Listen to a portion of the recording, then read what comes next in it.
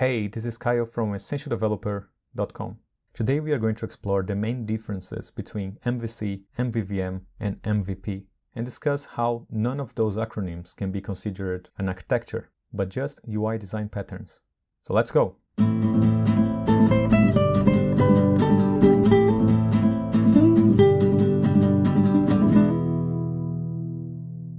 Okay, let's have a quick recap on the MVC history, since that's the first pattern where all other MV acronym patterns emerged from.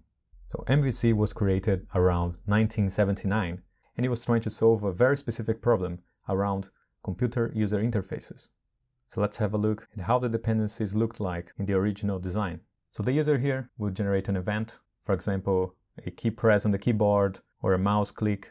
The user event would be directed to the controller. The controller object would handle that event, create some kind of command, and pass it through the model. So it was manipulating the model interactions, where the model would hold the business logic or the data manipulation. And after the model was done, it would broadcast changes through some mechanism like notifications, callbacks, or observers. And the view would have an observer relationship with the model, where it would wait for data changes notification, format that data, and render it on the screen. And as you can see, the responsibilities he had at the time was very minimal. Controller was just handling the event and sending commands to the model. The model would manipulate the data depending on the command, and it would just broadcast the message, and the view would get the messages and render it on the screen. Now let's look at the arrows so we can see the dependencies between those modules. So the controller depends on the model layer, as you can see the arrow pointing inwards, and the view also depends on the model. That's why the model is right at the center of this diagram. This is where the important business logics would happen. And notice how the model doesn't depend on the controller or on the view. All the arrows point inwards. The only arrow that goes outside, it's a broadcasting mechanism. So it's an indirect communication. There is no dependency from the model to the view, which means the model could be tested in isolation. It could live in a separate module. It could be reused in different scenarios. For example, it could be plugged in into a terminal view, or it could be plugged in into a printer. It was completely decoupled from the view.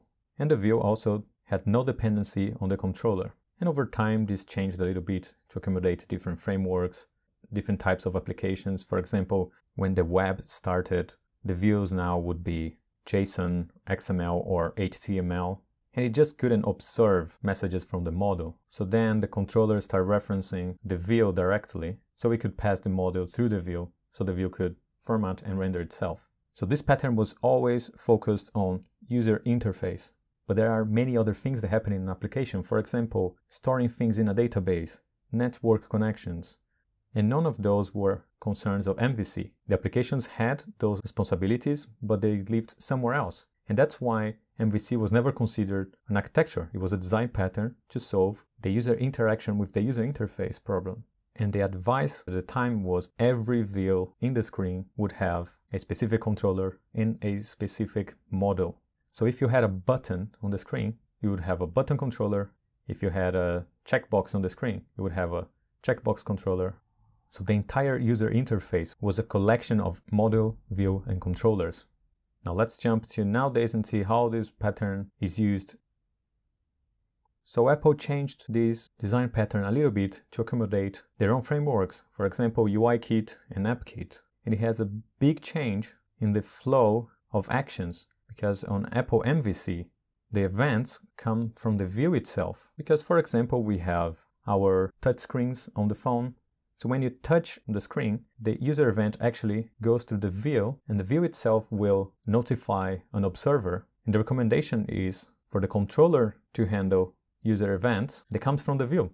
So look how this pattern changed. The controller now sits in the middle of the pattern as some kind of mediator. So the user events come from the view and the controller is going to observe those events through mechanisms such as target action, delegation, callbacks, now, when the controller gets those user events, it's still converted to commands and pass the messages to the model. The model will update itself and still broadcast the changes, but now the changes don't go directly to the view. The changes goes through the controller, again, through some kind of notification, callback or observer, and the controller will update the view with the changes, as Apple defines it in the documentation. And there are variations of that where some developers still bind the view directly to the model instead of having the controller in the middle, but it's clear that the model should never depend on the controller or the view directly. And another big change that happened to this pattern is that it started being called an architecture pattern, which means all the responsibilities we had in the application will now be handled to one of those layers. For example, networking is now part of MVC and storage databases. For very, very simple applications, that might work well, so it makes sense for Apple to recommend that. But as the applications grow, this start getting a little messy so where would those responsibilities live in this pattern? And it's common advice to say that, well, business logic, data manipulation should still live in the model layer, even though some people move the business logic to the controller. The recommendation is always to keep it in the model. Storage and database interactions, just like in web applications, end up going to the model as well. Sometimes it lives in the controller, depends on the developers, but the common advice is to keep it in the model layer. Event handling still lives in the controller layer and rendering still lives in the view layer. But formatting now was moved to the controller because if we move the formatting responsibility to the view, now the view references the model directly and it breaks the defined separation of concerns here. So formatting normally ends up in the controller or in the model. Now networking is another one that sometimes it lives in the controller along with routing and parsing moves to the model. So it's very common to see code where the controller makes an API request, gets some JSON back, and asks the model to map that JSON into a usable model. And some people say, well, networking should also be in the model, so it's common to see the code here, but there is no consensus on where this should be. So we end up with something like this. And some people say, well, let's keep the formatting on the view and let's keep the controller just as event handling and routing. And whatever way we arrange those objects, it always looks like one of the layers is doing too much. Even if I move the networking back to the controller and keep the parsing there, it looks like we are organizing things better, but there's no optimal separation here when the application grows. And another big problem is that the whole screen is defined as a big MVC. It doesn't have to be, it's up to the developer to break it down into smaller MVCs, but usually we see like these big MVC screens where you have one controller, multiple views, and multiple models. So this controller is just massive, and the models also are doing database queries, networking, parsing, plus data manipulation, and things can get out of hand. And then comes MVVM, which is another design pattern that emerged from the MVC pattern. Let's have a look. So in MVVM, we don't have a controller in the middle. So the controller was renamed to a view model and in an iOS application, for example, user events still comes from the view, and through a binder, user events are handled to the view model, and the view model passes the messages through the model. And when the model changes, the view model, through the observable properties, will notify the view. And as you can see here, the big difference is that the view model does not have a reference to the view, differently from the MVC, where the controller holds a reference to the view. And normally the view also does not hold a reference to the view model. There is something in between here. They call it a binder. When MVVM was created by Microsoft, it was just trying to eliminate the boilerplate for connecting the presentable data to the view. And at the time they used something called XAML in a binder framework that will keep the view up to date with the model without the developer having to write any code so MVVM was trying to solve the same problem as MVC, but with less boilerplate code, just creating an automated way of doing it with a binder framework. Now let's look at the responsibilities MVVM is trying to solve. So business logic and data manipulation stays with the model, storage database stays with the model, rendering stays with the view, formatting and presentation clearly goes now to the view model and not to the view, and user event handling goes to the view model. Now what about networking, parsing, and routing? Well, MVVM is not trying to solve this problem. So if you're trying to fit networking, parsing, and routing in MVC or MVVM, it's up to you to decide where you're going to put this. None of those patterns is trying to accommodate networking, parsing, routing, and even storage, to be fair. So MVVM just renames the controller to view model and have a very specific way of keeping the view up to date, where the view model or the old controller has no reference to the view and the view has no reference to the view model. Now, storage, database, networking, parsing, routing, and other responsibilities, again, just like in MVC, is not what the pattern is trying to solve. So it's up to you to say, well, the storage is going to be here in the model, networking will be in the view model, parsing will be in the model, and routing will be in the view. It's like it's just undefined behavior. it was not intended to solve this problem. And again, any kind of combination that I do here is not going to be optimal. It will be up to the developers to decide whatever makes sense. But if possible, it's recommended to keep those responsibilities away from this pattern and use it specifically to solve user interface. So let's now have a look at MVP, the model view presenter.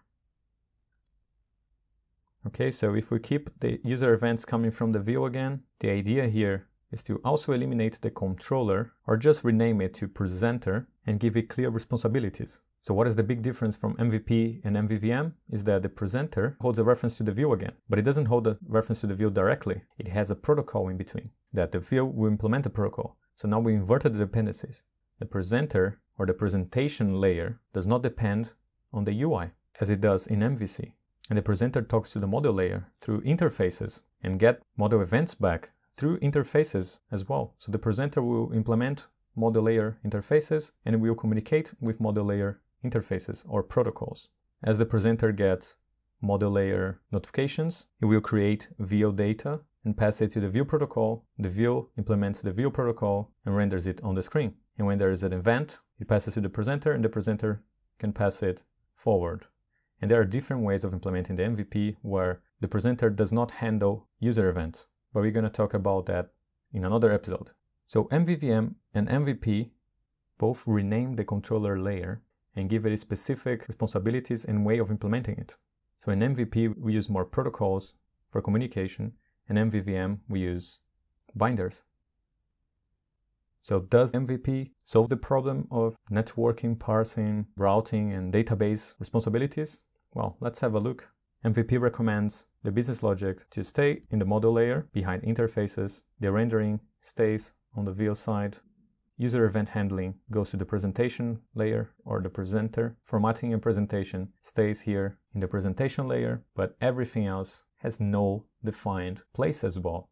So it's up to the developer to say, well, I'm going to put the storage here, the network here, or the network here, and the storage here, and the parsing here. Again, the same problem. There's no optimal separation of concerns here because what MVP is also trying to solve is the user interface and model communication. So whatever combination we make here, again, this is going to be non-optimal.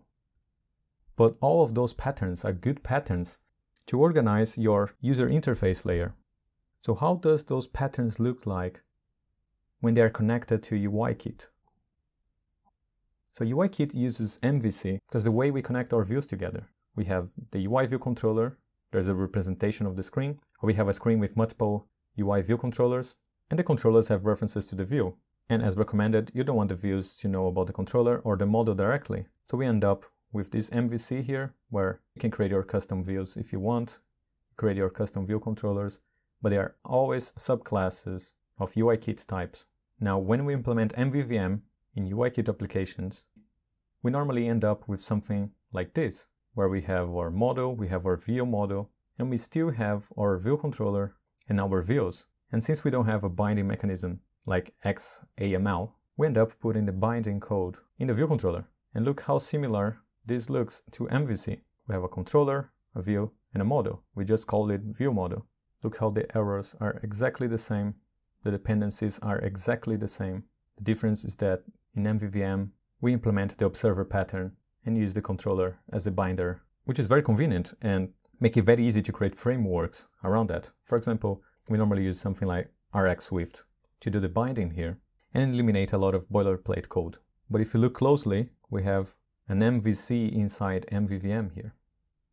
And the MVP implementation on UIKit or even AppKit applications would look very similar to that as well, where we're going to have our presenter layer, our view controllers and views, where the views would receive user events, would delegate it to the controller. The controller can notify the presenter. The presenter will communicate with the model layer through protocols, get back messages and responses through the protocol create view data, pass it to the view protocol that the view controller implements, and update the views. And again, we can see a small MVC embedded in the MVP implementation. So regardless of what we do in UIKit or AppKit, we might end up with an MVC implementation somehow. And that's just natural because MVVM and MVP are extensions of MVC, and UIKit and AppKit have MVC defined in its roots. And here we can create any of those design patterns. We can compose a bunch of MVC together, we can compose a bunch of MVVM together, we can compose a bunch of MVP together, we can even compose an MVC with an MVVM and an MVVM with an MVP. It's just up to us. And it's important to remember that none of those patterns are trying to solve database queries, networking, parsing, or any of that. They're very specific to the user interface interactions, so use it with care. And that's it for today.